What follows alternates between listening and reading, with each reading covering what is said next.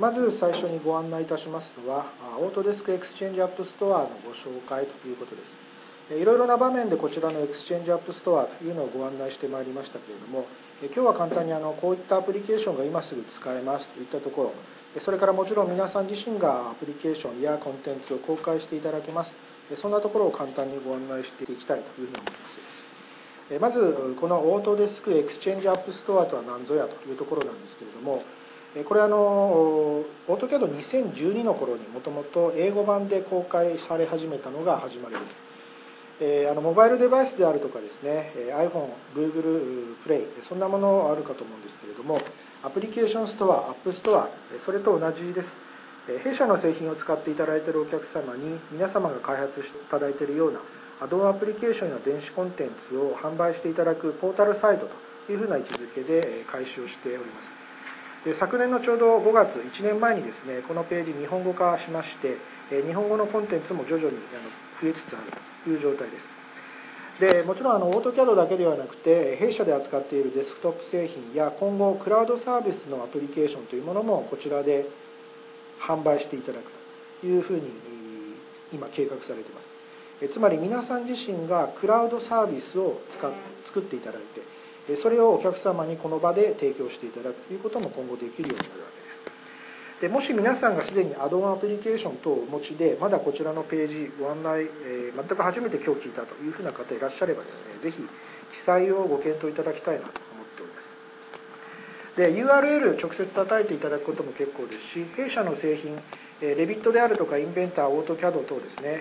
ウィンドウの右上の方にですね X という形のアイコンがございますのでこちらをクリックしていただくことで日本語のページが表示されるはずです。でいろんな言語に今翻訳されてますけれども、えーと、皆さんがお使いのあの OS の言語ですね。そちらをチェックして適切な言語で画面を表示するようにチューニングされています。当然日本語の OS で日本語の IE 使って IE っていうかブラウザ使っていただいている方は日本語で画面表示されるはずです。で今お話した通りですねオートキャド2012ですから2011年えこちらの西暦になりますがそこから開始をしておりますが、え徐々にですね、えとダウンロードとかあるいはビジター、え実際にページを見ていただいている方の数が増えています。であまりここではその数というのは重要ではないと思うんですけれども、え認知度も上がってまいりましたので、えその数が右肩上がりで増えているというところだけご覧いただきたいと思います。え当然ダウンロードしていただく数というのも比例的に増えております。で今のところですね記載されているアプリケーションや電子コンテンツの6割が無償です。6割が無償です。約10%がトライアル版体験版です。で残りが優勝版ということになるんですけれども大体残りのですね半分が100ドル以下つまり1万円ぐらい以下ですね。でそれよりも高いっていうのはまあ本当その残りということになるのであまり数は多くないということだと思います。ですからここでダウンロード数かなり増えてますけれどもまあそうですね。約7割ぐらいは無償でとりあえずダウンロード。えそういうパターンかと思います。で優勝数なんですけれどもまだあの無償数全体に比べると数少ないんですけれども当然認知度が変わってくれば、えその辺も増えてきています。特にあの今年の Q1 弊社の Q1、え四半期がですね2月から4月なんですけれどもこの Q1 になって急に増えているというのはこのグラフで見ていただけるかと思います。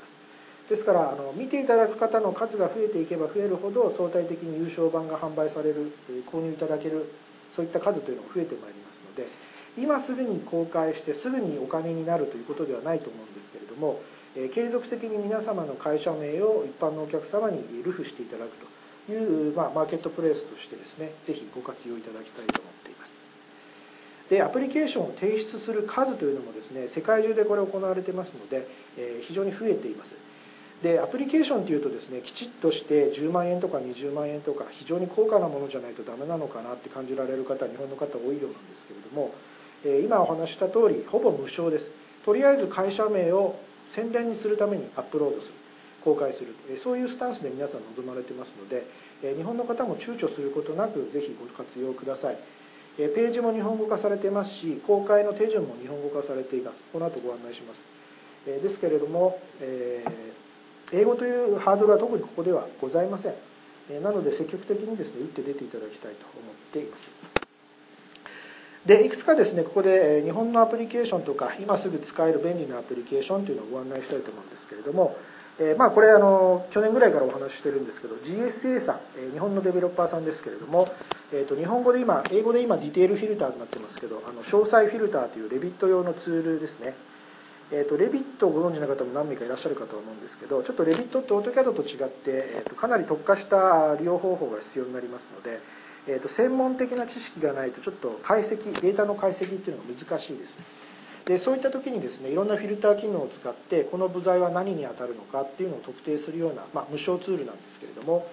えー、こちら無償で公開いただいてます。でインストーラーというのはですね、え、提出をしていただくとオートデスク自身が作りますので、え、皆さんがインストーラーを作る必要はございません。え見た目もこの後いくつか出てきますけれども全く同じようなユーザーインターフェースの簡単なインストーラーです。真ん中にボタンが1個ついてるだけですね。でリボンインターフェースにその機能を使うボタンを追加していただいて実際に中身をチェックしていただく。利用していただくということです。またメニックスというこれはあの表紙画の会社さんだと思いますけれども、えー、とインベンター上で動くツールです。視点を正確に変更させるというツールです。当然あのインストーラーもオートデスクが作ってますので先ほどの GSA さんとほぼ同じです。でインベンターのリボンパネル上にボタンがついて視点を変えていただくと。それからマクロツールですね、えーと、今ですねちょっと見た目が少し変わってます。このキャプチャー取った時にあの USD8 か。ごめんなさい。US ダラー8ドルってなってますけど今のここもあの円ではないんですけど米ドルっていう表現に変わってます。であとあのボリュームライセンスということですね。ちょっとついでなのでお話ししますけれども、えーと、まとめて購入していただくことができるようになっています。で、えーと、今ちょっとページを戻しましてこのマクロツール米ドルという表現8ドルになってますけれどもこれ購入したいなといった場合にですね、まあ、1回ボタンを押すと1ライセンスっていう形でダウンロードできるんですけれども、えーとさらにコピーを購入というふうにしていただくと最大200個までですね皆さんの数皆さんの会社の設計者の数分だけ大体ここで購入していただくことができます。ただ請求書というのはこのページから直接発行することはできません。決済システムは米国のペイパル社というのを使っていますのでペイパルのアカウントを使って公開していただくときは公開をしてください。で請求書が必要な場合はですねあの作者の方に直接聞いてくださいというふうに言われてますので、えー、まあ、こちらのホームページからコンタクトしていただいて購入した分の請求書を作っていただくとかそういった対応をお客様にもしていただくことになります、まあ、ちょっと話がそれてしまいましたけれどもこういったものです。でこのマクロツールというのはあのメニューボタンに割り付いたマクロを記録して再生できるというふうなツールになります。またアド設計さんの継ぎ手のダイナミックブロックですね。これはアプリケーションというよりはコンテンツなんですけれども、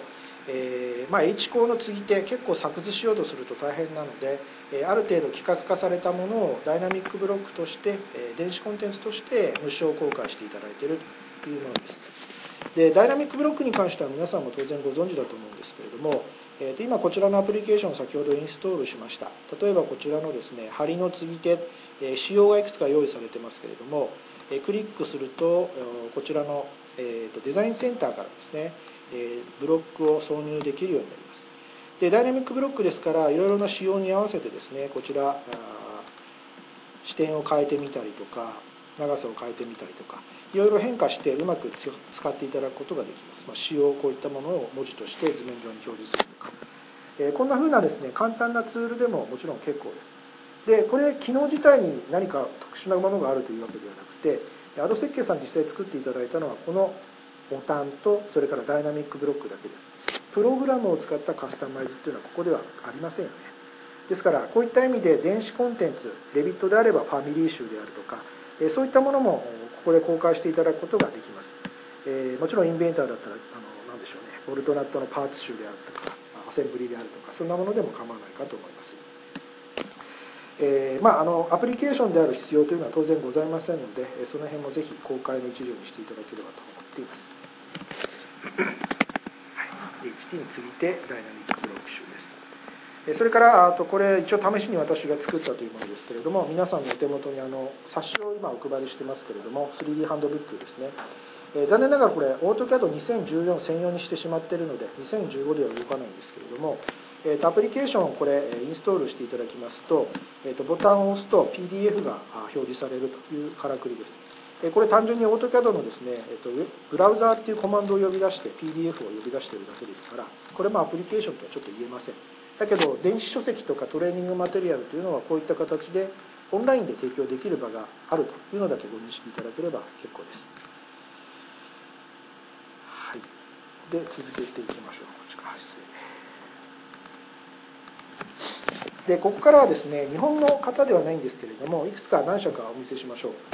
これはインベンターのアドインなんですけれども、えー、とちょっとまあオートキャドのセミナーなのでインベンターの話するのもなんなんですが、えー、とこちらのアプリケーションですねやはり無償のアプリなんですけれども、えー、と画面上に出てるのはネジのパーツです。でインベンターっていうのはネジを作った時にですねネジのあのネジ山を表現する時にあれをそのまま形状として作るととてもデータが重たくなってしまうのでテクスチャーを貼り付けてるんですね。ネジの模様を画面にマップさせてると。で単純なこれ円柱なんですけれども、まあ、パッと見ネジのように見える。ただネジを作ってる会社はネジどうやってモデリングするんだって話があると思うんですけどそういった時にですねネジって当然あの仕様があります。実規格であったりとか暗視であるとか ISO であるとか。でそういう規格を内部に持ってますのでこのネジのパーツを実際にモデリングしてしまおうと。こういう実際の形状に変換してしまおうという簡単なアドインです。これは無償です。それからえーと、これは Google Earth の API を使って、えーと、ある場所にそうですね橋を作りたいみたいなことがあったとしたら、まあ、橋梁設計の部門に入るかと思うんですけれどもサイトの形状データが欲しいと。その場所の形状データが欲しいといった時 Google Earth の API を使って場所を表示させてそこからですねこういった 3D の形状を取り出してインベンターの中に表現させるというこれも無償のツールです。同じようにデビットで形状データを、まあ、地形データを取り込んでそこで何か設計に利用する。この無償ツールもレビットで利用できます。同じ会社が作ったものです。それからちょっとさっきからパタパタでお見せしちゃったんですけれども例えばこれですよね。えっ、ー、とインベンターの図面オートキャドの図面でも結構です、えー、図面として流通しているのは実際に DWG かっていうとそうではないと思います場合によってはここに表示されているように PDF であるという場面があるかと思います。でここであのこんなふうな図面が流通してきてどうしてもここ編集しなくちゃいけないと。同じのをオートキャドで1から入力するのってとても大変なんですけどこれトライアル版のツールでこんなものがあります。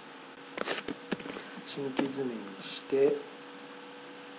ここであのインポート PDF というのがありますのでこちらボタンをクリックして例えば先ほどの PDF の図面ですよね。えーと、私のカスタマイズセミナーフォルダーの下のまずエンジンマーク 2.pdf インベンターから取ってきた DW 図面ですけれどもこれを開くというふうにすると、はい、インベンターの PDF のこの状態が全てオートキャドの図形になります。オートキャドってあの PDF アンダーレイということで下敷きの形で PDF のジオメトリーを表示させることができますけど直接オートキャドの図形に変換して編集することができません。で見ていただいている通りこれオートキャドの円弧であるとかポリラインであるとか図形に変換されてますのでこちらで編集を直接していただくことが当然できます。で同じようにですね先ほどと同じ機能で建設系の図面も当然同じようにアクセスして変換をしていただくことができます。まあ、どういった図面の種類でも、まあ、特にその辺は限定はないということになるかと思います。えー、こちらです。はい、こんな感じですね。まあ、色とか、えー、そういった情報まで引き継いできますので、えー、どうしても PDF しかなくて図面を編集しなければいけないという時はこちらの、まあ、無償版トライアル版のツール、えー、使っていただければと思います。でもう一つですね例えばですけどウェブサービスを使った例としてこんなものもあります。えーとサンプル図面としてですねちょっと英語版の図面オートキャドなので結構多いんですけれども、えその中で例えば英語で中期が書かれているっていう図面が結構あるんではないかと思います。そうですね。この辺ですかね、まあ、こんな部分ですけれども、まあ、あの日本でも結構海外とやり取りをされるので皆さん当然英語はある程度できていらっしゃるんだとは思いますけれどもこれなんだか分かんないという言語もままあるかもしれません。そんな時にですねここで例えばマルチテキストをクリックしてで今実際なんかコミュニケーションしてるんだと思いますけれども画面に表示されます。今これ英語なんですけど何語に変換しますか？例えばまあ分かりやすく日本語に変換しましょうとか。そうすると、まあ、Google 翻訳みたいなもんですよね。ウェブで使えますけどそれと同じようなものを API で呼び出して日本語化してくれると。あるいは同じようなことを全く知らない言語に翻訳するっていうことも当然できるかと思います。で具体的にこれ本当に Google トランスレーター使ってるかどうかちょっと私聞いてませんけれどもマイクロソフトトランスレーターですかですね、え例えばこちらをですね、えまあコリアン韓国語に変換しましょうとか。まあ、あの精度の問題はある程度あるかと思うんですけれどもこんなふうに簡単にそちらの言語変換することができます、まあ、若干修正は必要になるかもしれませんけれどもえこういった機能これも無償で使っていただけます。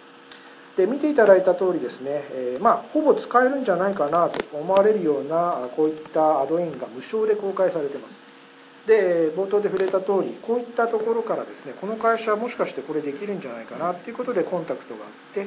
で、え受託開発に結びつくっていうこともあるようなので、えまあ、あの販売をアプリケーションを販売しているような皆さんいらっしゃいましたらば、えぜひこちらご活用ください。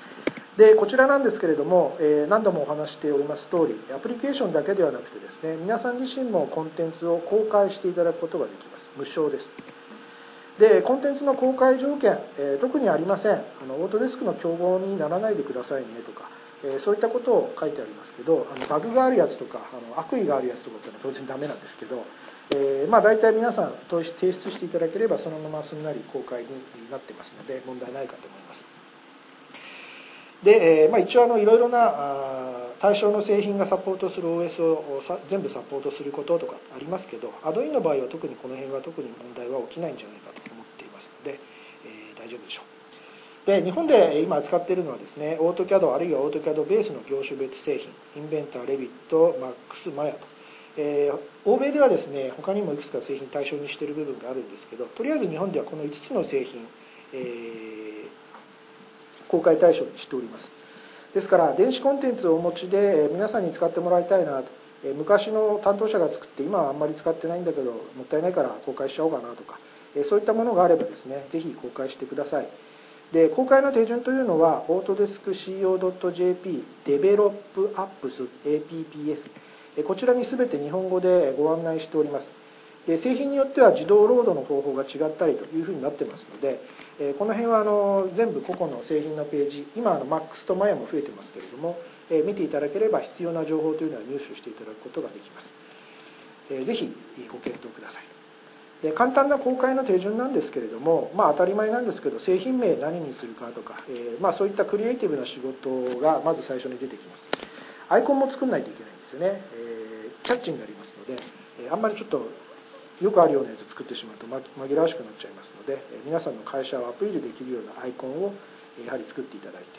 てでそれがあのウェブページに載ることになりますのでそんなところから順番に手順を踏んでアプリケーションモジュールを提出したりとかいうふうにしてください。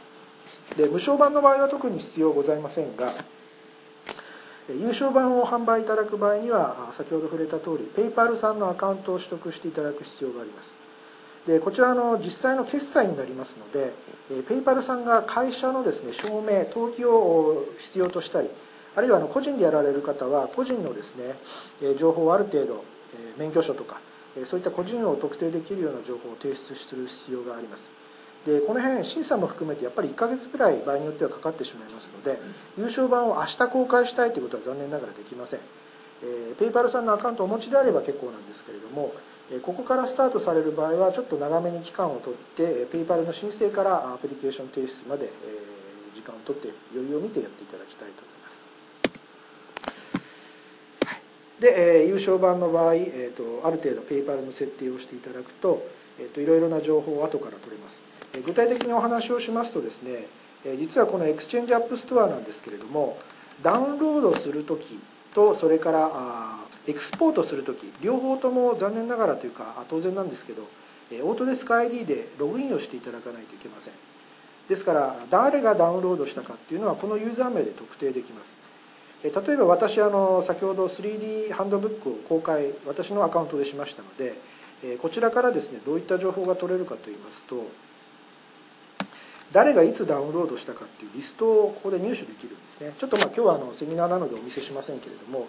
ダウンロード今まで2月の中ぐらい1月の中ぐらいに公開したんですけど今まで334名の方がダウンロードしていただいてます。無償版です。でまあ、AutoCAD2014 限定なので、まあ、結構な数ではないかと思ってるんですけれども、これクリックすると誰がいつダウンロードしたかの Excel のリスト CSV ファイルで取得できますので、えー、まあ後の活動に活用していただくようなことも場合によっては可能でございます。ということでですねこういった部分どこからアクセスしていただくかというと Exchange App Store のこのバナー Exchange App 開発者の方へというボタンを押していただくとさっきのページアプリケーションの提出に誘導されていきますのであとはもうウェブで書き込んでファイルをアップロードしておしまいですであとインストーラーが送られてきてこれでいいかどうかテストしてください。と言ってテストして OK であればそのまま公開の手順になりますのであまり難しいお話はございません。何度もお話しますけどぜひですね皆さんのコンテンツアプリケーションというのを公開していただきたいと思います。インストーラーはオートデスクが作ります、はい、よろしくお願いします。